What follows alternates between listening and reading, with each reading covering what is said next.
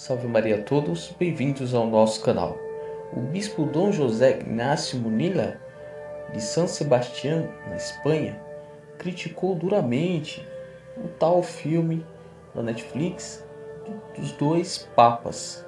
Ele falou o seguinte: o filme é muito injusto com relação à imagem que pretende dar dos dois papas. O filme é um reflexo fiel não de como são estes dois papas, mas de como foram manipulados. Acho que é um filme que seria perfeito para estudar como aconteceu desde o primeiro momento a manipulação de dois papados, disse Dom Munilla.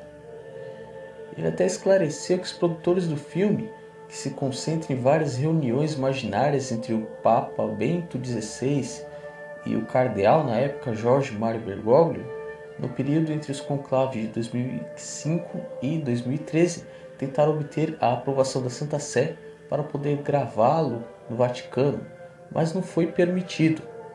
No Vaticano não houve uma colaboração na produção deste filme, destacou o bispo.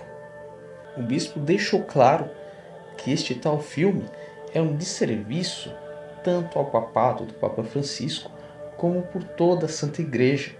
As pessoas vão pensar que a Santa Igreja é uma novela das oito, como muitos sedevacantes, cismáticos e etc. já pensam, até mesmo o pessoal da teologia da libertação.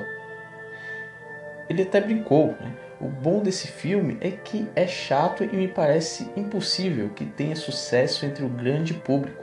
Seus diálogos são bastante insuportáveis.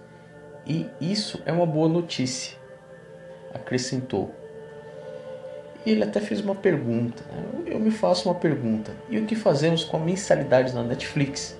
E logo após, ele fala que uma boa contribuição seria destinada o dinheiro para instituições de caridade e evangelização. Que seria bom destinar esse dinheiro, essa mensalidade que se paga, para algo que realmente evangelize e não onde nos mundanizamos realmente pegar esse dinheiro que essas pessoas gastam em Netflix seria bem mais viável para a caridade do que gastar com essas bobeiras, essas asneiras de séries e filmes como este, Os Dois Papas. E nada de bom vem desta, digamos que, empresa.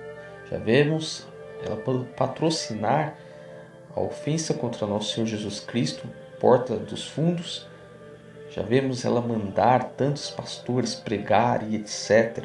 Pregações popstar, cheias de heresia. E agora vem esses filmes. A noção que eles têm sobre a Santa Igreja é mínima. E mesmo se fosse grande, eles iriam querer atacar a Santa Igreja.